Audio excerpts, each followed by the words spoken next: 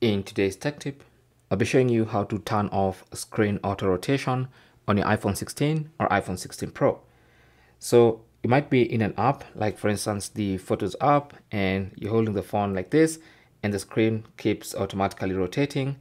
You can actually go ahead and disable that. And to do that, just scroll down from the top right corner, and then you should see this icon here in the control center.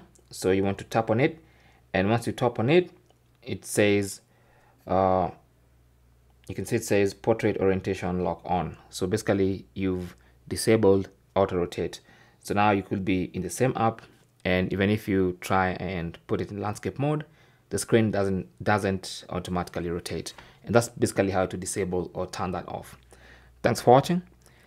Keep your comments or rather leave your comments and questions down below. If you found this useful don't forget to leave a like and even subscribe and I'll talk to you guys in the next one. Good luck.